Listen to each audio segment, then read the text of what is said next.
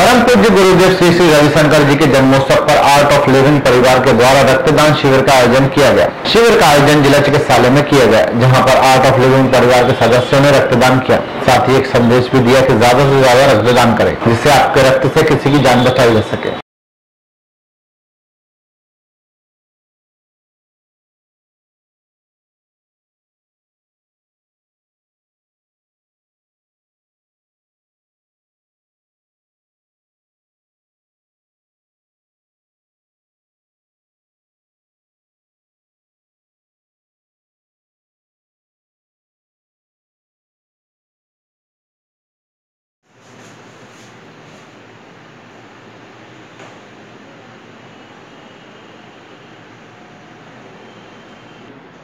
Art of living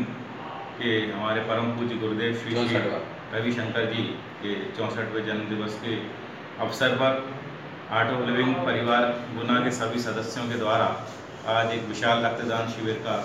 यहाँ आयोजन किया गया। जिसमें आर्ट ऑफ़ लिविंग की सभी संस्था के सदस्यों के द्वारा यहाँ पर एक blood donation camp Shri Shri Gurudev के जन्मदिवस पर आयोजित किया गया है। जिसमें अधिक से अधिक संख्या में परिवार के सदस्यों के द्वारा